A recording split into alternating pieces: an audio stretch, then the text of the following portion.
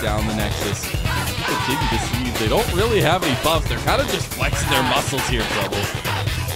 I was about to say there are no necessarily waves that they can use waves. Oh, they're just gonna get played on. Black, but can spoon it. Okay, okay.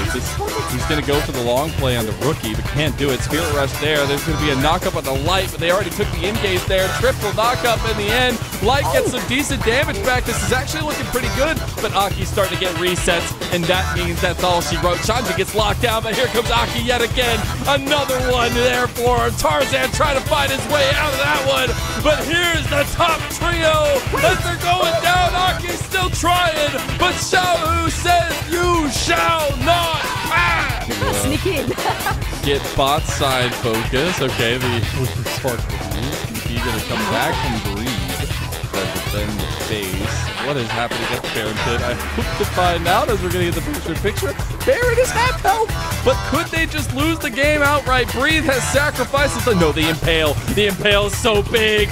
Can he stop him though? Rookie's still alive. He goes golden, and it might just be the golden hour for NIP. Xiao has no mana left. The auto attacks are not enough. Extolson back. Oh my god.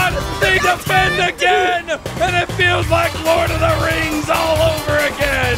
A quadra kill for life. Off of one fell swoop, off of two consecutive team fights. There's no way that this is how this first game ends of this series. Five seconds, Bring five seconds, five us seconds. more. Breathe goes through the wall, and it's gonna be a kick to the face that sends NIP right through it. That's the end, and Weibo flips game one.